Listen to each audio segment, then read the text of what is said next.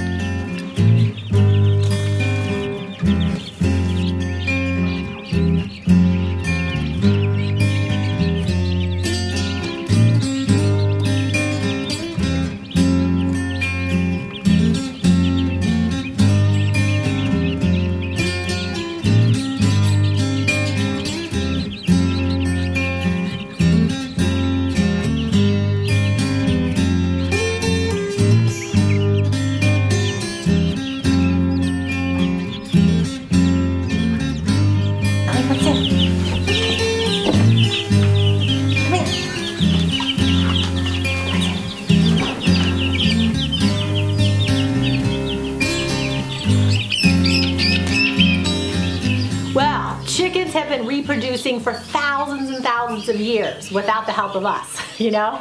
Actually, chickens are descendants of two-legged dinosaurs similar to a Tyrannosaurus rex. So they've been around a while and they haven't had any problem with having their chicks and growing and, you know, living their lives.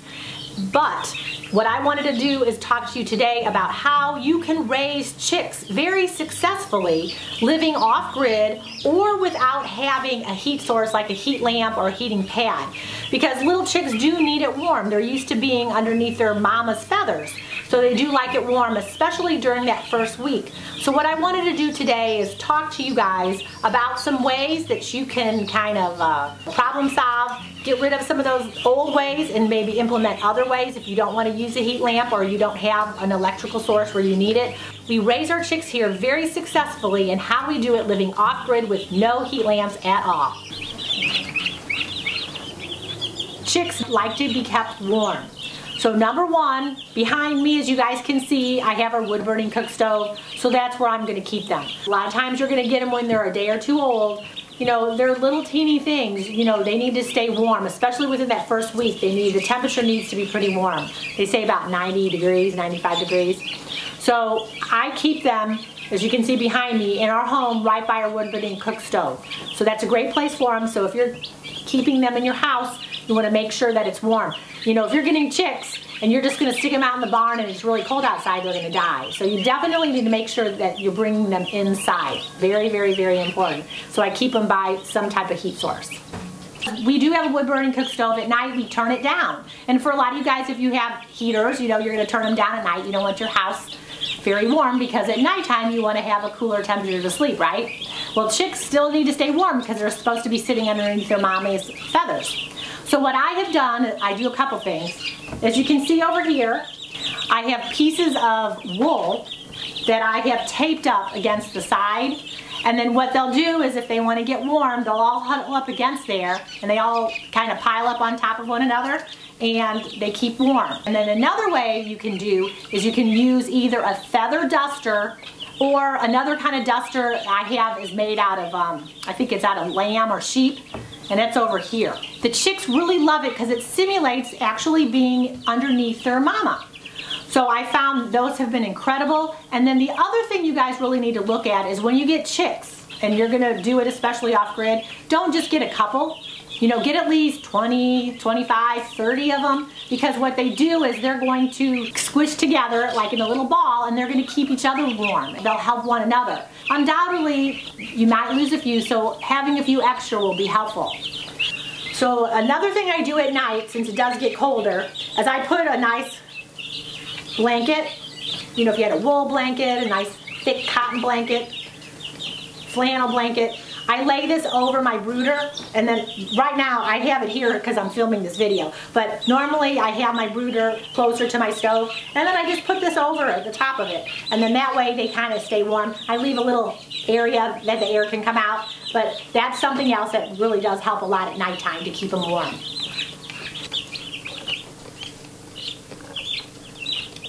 As you can see right now, this is my brooder. So let's talk about what you're going to put your chicks in when you get them because there's so many different things that you can.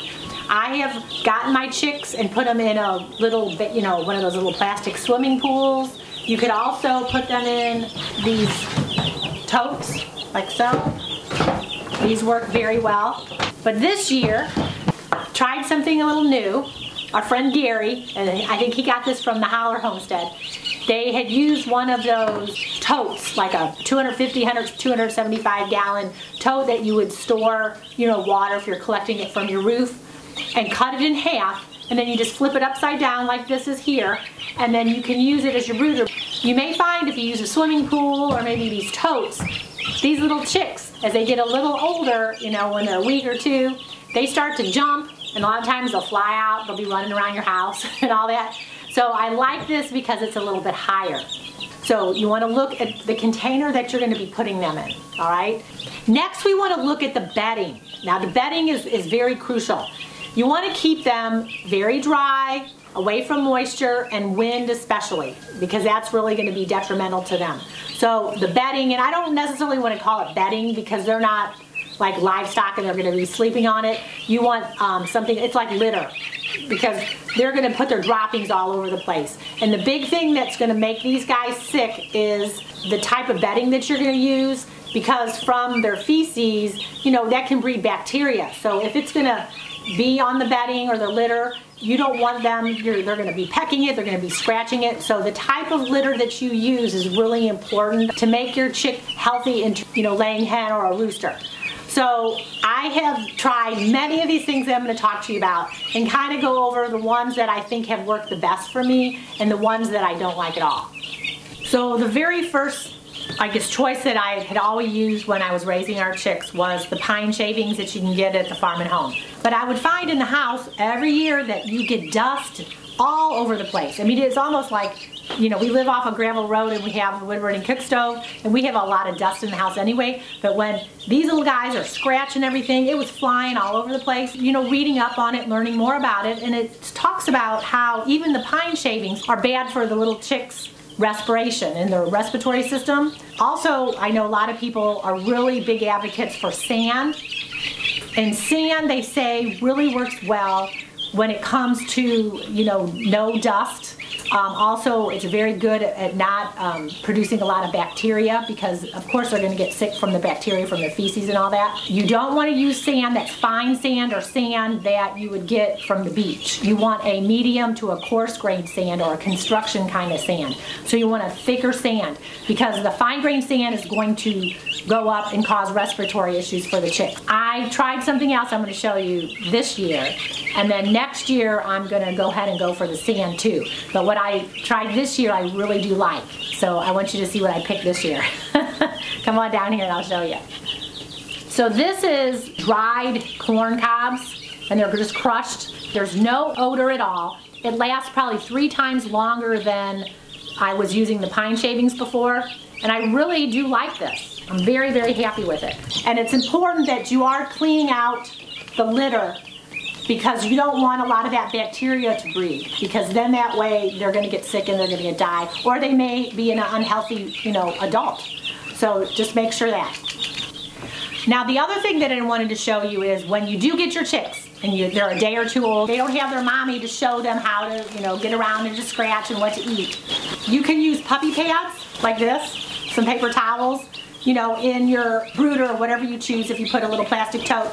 Put this in the bottom and then that way they can kind of get used to it and then when you put their feed in there, their little, you know, little pellets or their food, they know that's their food and their water and then they don't want to eat this. Now we also want to talk about like some of the breeds of the birds that you're going to use might be a little bit more tolerant.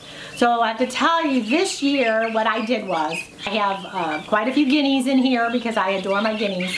And I have some meat birds or some broilers, um, Cornish crosses that I got. I wanted some of those olive eggers. I had never had them because I have the Easter eggers, which I have the blue eggs, and I have the brown eggs chickens. But then I wanted some so it looked good in the carton, kind of that olive color.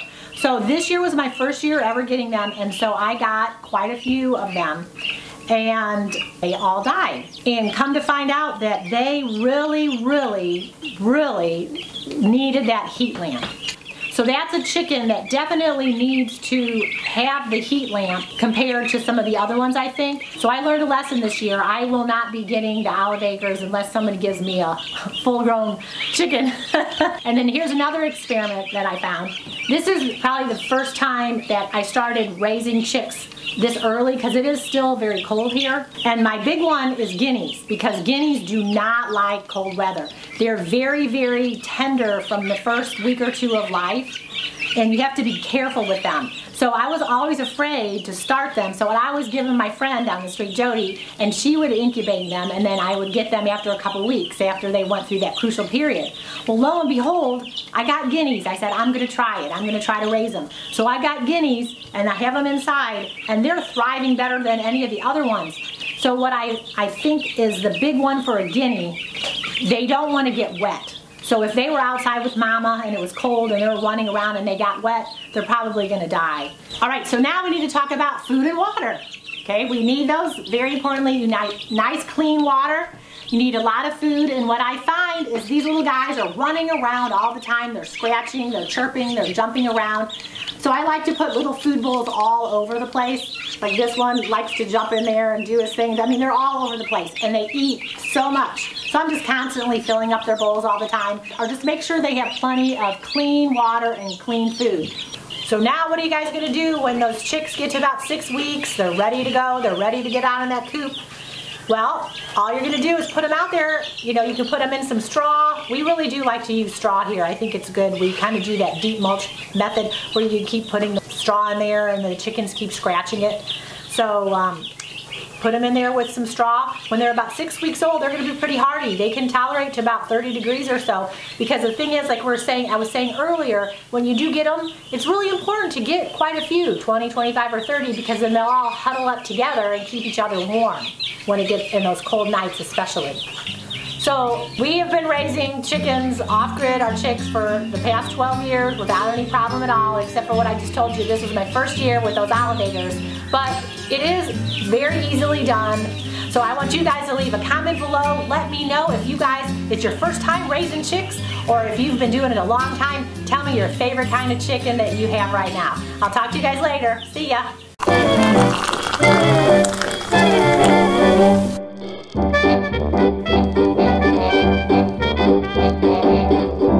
Did you guys know that in the 16, 17, and 1800s, chocolate was consumed as a beverage? There was no such thing as a chocolate candy bar. Well, we're bringing chocolate tea back to the 21st century because it's loaded with antioxidants our body loves and it's a great source of magnesium that's wonderful for bone and heart health. It's a great addition to your coffee machine or your French press or just along with your favorite sweetener. You can find it at offgridwithdougandstacy.com along with our brand new tea infuser, simple to use for easy steeping. Cheers!